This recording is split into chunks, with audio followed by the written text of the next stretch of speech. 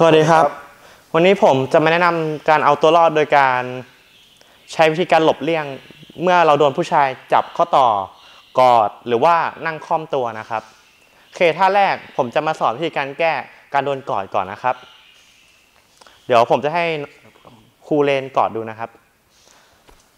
นี้เราโดนเขากอดแรงมาก เราไม่สามารถจะเกรงสู้เขาได้ เพราะว่าเราอาจจะเป็นผู้หญิงหรือเป็นผู้ชายที่ตัวเล็กนะครับ เราจะใช้การ เปิดช่องว่างก่อนโดยการทำตัวโก่งๆแล้วก็เอามือมาด้านหน้าอย่างนี้ฮะเห็นไหมครับมันจะเหลือช่องว่างนิดนึงจังหวะต่อไปเราก็จะเอาเอาไหล่เอาไหล่อย่างเงี้ยครับทำไหล่แบบ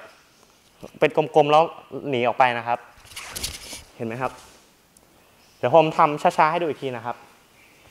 โอเคอย่างแรกนะครับทำตัวโก่งอย่างนี้ เอามือไปด้านหน้า เพื่อให้เกิดช่องว่างปุ๊บเห็นไหมครับ มีช่องว่างนิดนึงแล้ว แล้วก็เอาต่อไปเราจะเอาไหล่นี้ กดลงมาต่ำๆพร้อมไหล่นี้ขึ้นมาข้างบน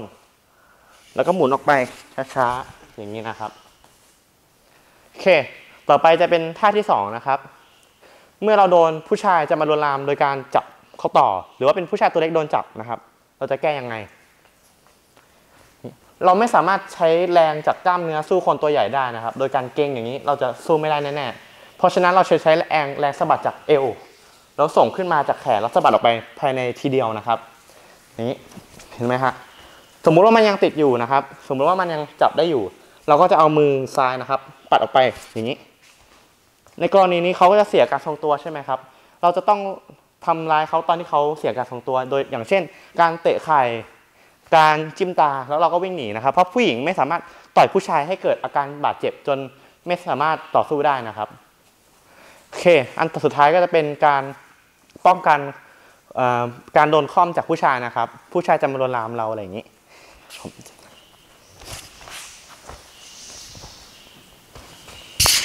กรณีที่เราโดนบีบคอเพื่อให้สลบแล้วก็โดนทำไม่ดีไม่ร้ายนะครับ เราก็จะเอาเข่าเข่าที่อยู่ด้านล่างนะครับเข่าที่อยู่ด้านล่างนะครับ เอาขึ้นมาทำตรงจุดอ่อนของผู้ชายนะครับโดยการเอาเข่าขึ้นมาปึกอย่างนี้ เขาก็จะเสียการทรงตัวแล้วเราเอามือนี้ตบหูเขาครับตบกระดานลงไป เมื่อเขาเกิดอาการวิ่งตรงหูครับ เราก็จะใช้สถานการณ์นั้นในการวิ่งหนีนะครับ เดี๋ยวครับให้ดูใหม่ อย่างแรกนะครับ เอาเข่าจิ้มเอาเสียการทรงตัวตบหูไป สถานตอนนี้ปั๊บเราก็รีบวิ่งเลยครับเราก็วิ่งหนีไป เราไม่ควรจะสู้กับผู้ชายนะครับพยายามเอาตัวรอดให้ดีที่สุดนะครับโอเคครับ วันนี้ผมก็จะอธิบายแค่ 3 ท่านะครับ ถ้าใครมีปัญหาหรือว่าอยากสนใจอยากถามอะไรผม สามารถคอมเมนต์มาได้นะครับ หรือว่า หรือว่ามาหาผมที่ iMac Dojo ก็ได้นะครับครับ ขอบคุณมากครับ อย่าลืมกดไลค์คอมเมนต์แชร์เพื่อเป็นกำลังใจให้กับ iMac Dojo ด้วยนะครับ